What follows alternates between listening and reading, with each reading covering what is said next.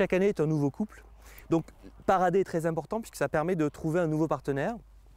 Donc les flamands vont démarrer leur parade euh, à la fin du mois de novembre, début du mois de décembre. Ça contribue à l'époque où les plumes sont les plus belles puisque les flamands font comme tous les oiseaux, ils font une mue chaque année. Cette mue se termine en fin novembre, début décembre. Et lorsqu'on a des plumes neuves, les adultes peuvent à nouveau parader.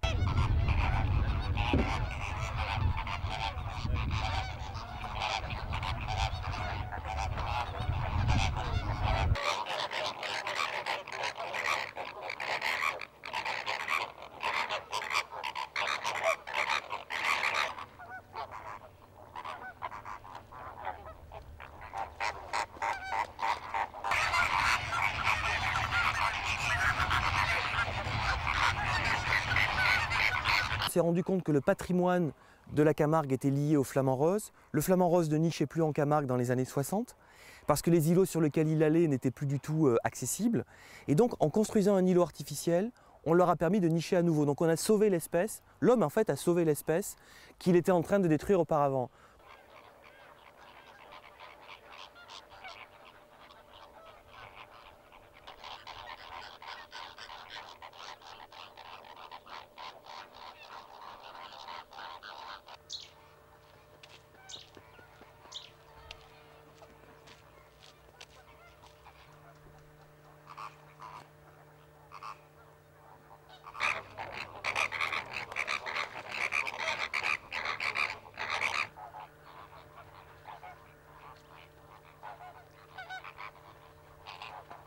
In order to breed successfully, the flamingo needs to be on an island where it is safe from terrestrial predators.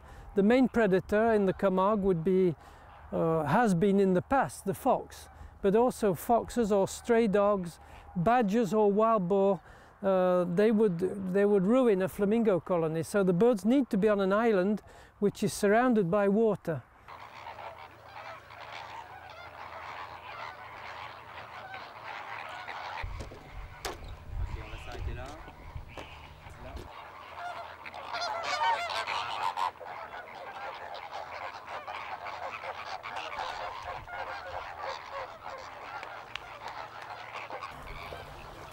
Alors là, un peu plus de terre. On va les faire par ici. non? Ouais.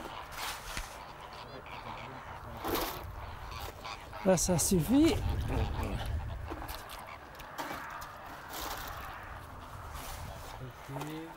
Bon exercice pour le dos. Oui, n'est-ce pas?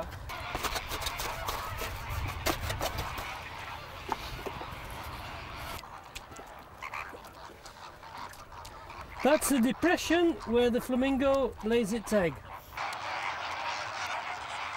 Flamingos, on average, they lay their start to lay eggs in about the begin in the mid mid-April, 15th of April.